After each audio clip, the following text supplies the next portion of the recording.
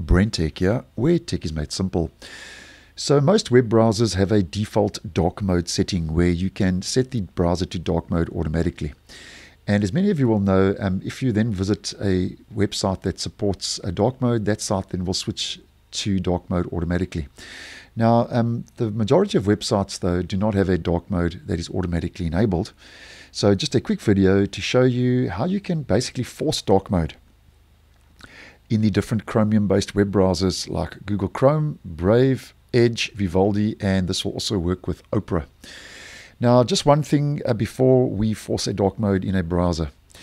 Um, it's hidden behind an experimental flag, so it's not a default feature of any of these browsers. So because it is hidden behind an experimental flag, it's still an experimental feature and may cause um, some sites to look a little bit strange, like it could invert the colors in the browser and also some websites. But if the negatives are outweighing the positives and you really want a dark mode, uh, in particular, maybe for a site like Google Drive or Google Docs, which don't have a dark mode by default. And I know there are a lot of users out there, um, including myself, who would love and like a dark mode, especially for Google Drive and Google Docs, as an example. Um, then this will basically help and work in that regard. Now, this will work in all the Chromium-based web browsers as mentioned. So just heading over to Google Chrome at first. Now what you need to do is you need to head to the address bar and enter chrome colon forward slash forward slash flags. And in the search, enter this flag. Auto dark mode for web contents. And the description reads automatically render all web contents using a dark theme. And that's available for Mac, Windows, Linux, Chrome OS, Android, Fuchsia, and Lacros. So all the basic platforms and operating systems. You change the default to enabled. Now there are a whole lot of different other enablements. Just use the default enabled, and then you'll have to relaunch your browser to apply that flag.